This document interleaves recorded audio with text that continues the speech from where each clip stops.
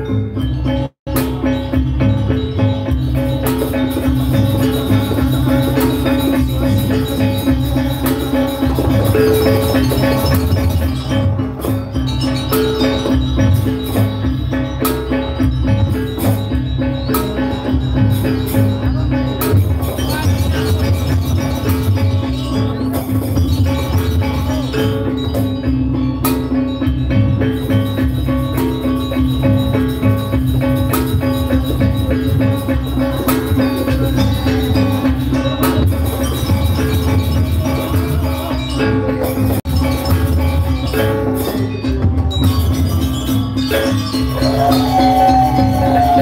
you.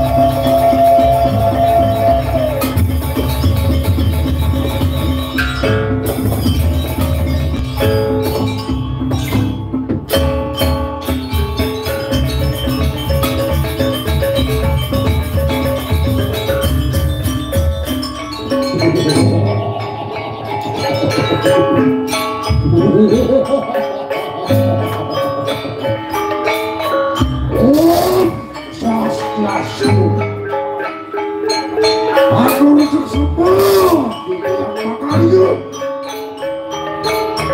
Ampun, yang boleh kembali.